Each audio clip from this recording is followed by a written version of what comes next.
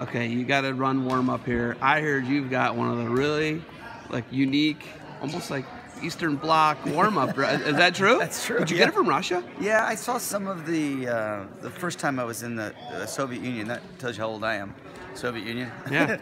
uh, uh, was at their uh, a, a practice with some younger kids and was watching them warm up and so uh, just kind of picked up a few things from them a long time ago and just always stuck with me. Just some wrestling, fighting games, combative games, just to kind of get the essence of wrestling down and some warm ups and. You know, some of the trick with this age with kids is just getting them to learn how to wrestle without them thinking they're wrestling. You know, it's having fun and positioning, movement. You know, so So you, I look at it. You and Kevin just missed each other at U of O, right? Yep.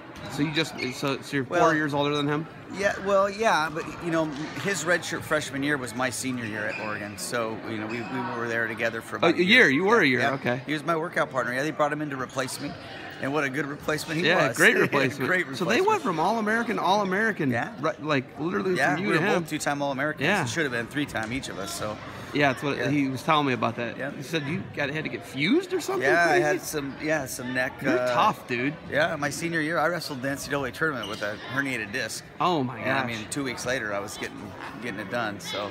Oh, you got fused two weeks after Yep. the NCAA tournament. Well, um, I didn't actually get it fused, but I have a, I had a discectomy. They took it out and had a laminectomy as well. oh my goodness. So yeah, back when they used to go through the back. I got a yeah. scar, big scar. Now they go through the, the front of the neck, right? Exactly. Yeah. Okay, we look at this. Um, well, first thing, you're a doctor. Yeah. I think we need to point that out. Uh, and and let, us get this straight. Optometrists are doctors. Yeah. I just, Yeah. I, I'm just. Yeah, they're when doc- people just don't say that. It makes me mad. Yeah. You, you did medical school. You did everything that a doctor has to do. Yeah. So you do you do uh, it's kind of like dental. So you you would do a four-year undergrad degree, and then you would apply. You could the tracks are you could go to dental school, you could go to medical school, optometry school.